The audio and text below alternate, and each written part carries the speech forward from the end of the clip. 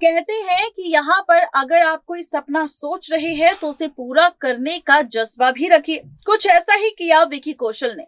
दरअसल 15 साल की उम्र में विकी कौशल को कैटरीना कैफ पसंद आ गई थी। आपको बता दें कि कैटरीना कैफ ने फ़िल्म बूम से बॉलीवुड इंडस्ट्री में डेब्यू किया था और जब कैटरीना कैफ 20 साल की थी, उस वक्त विकी कौशल 15 साल के थे। आपको बता दें कि 15 साल की उम्र में ही विकी कौशल को कैटरीना से प्यार हो गया था।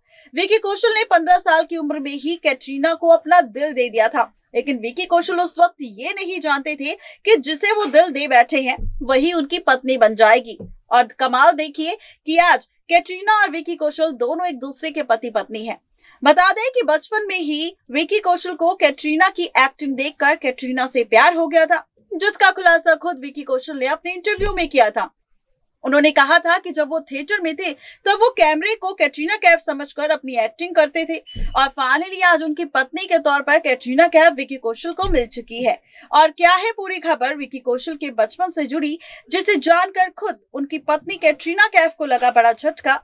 देखिए ये रिपोर्ट पंद्रह साल की उम्र में ही विकी कौशल हो गए थे कैटरीना कैफ के दीवाने। जी हाँ आपको बता दें कि कैटरीना कैफ और विकी कौशल, जिन्होंने 9 दिसंबर को राजस्थान के सवाई माधोपुर के सिक्स सेंसस फोर्ट बड़वाला में आलिशान तरीके से शादी की। दोनों की शादी काफ़ी चर्चित रही और ऐसे में शादी के बाद से जुड़ी तमाम खबरें सोशल मीडिया पर सामने आई। आपको बता दें कि कैटरीना कैफ ने साल 2003 में बॉलीवुड में फ़िल्म बूम से डेब्यू किया था और विक्की कौशल उस वक्त स्कूल में थे। विक्की कौशल उस वक्त सिर्फ़ 15 साल के थे। कैटरीना कैफ उस वक्त 20 साल की थी। विकी ने इंटरव्यू में खुद खुलासा किया था कि वो स्कूल के दिनों से ही कैटरीना कैफ के दीवाने थे। विक्की कौशल ने इंटरव्यू में बताया था कि जब वो एक्टिंग स्कूल में थे तो कैमरे को कैटरीना कैफ समझकर एक्टिंग की प्रैक्टिस किया करते थे। विकी कौशल ने आगे ये भी बताया कि वो कैमरे के साथ कैटरीना कैफ और अक्षय कुमार सिंह इस किंग के सॉन्ग तेरी और पर परफॉर्म किया करते थे विकी कौशल ने इंटरव्यू में इस बात को भी एक्सेप्ट किया था कि कैटरीना कैफ उनकी पसंदीदा एक्ट्रेस हैं।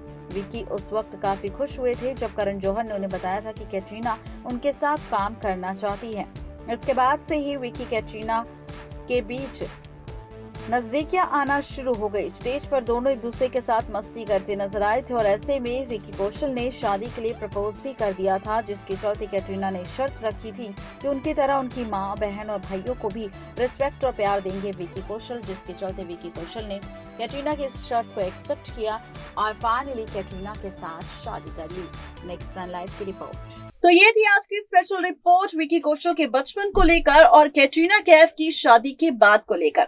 आज के लिए सिर्फ़ इतना ही। तब तक के लिए गुड बाय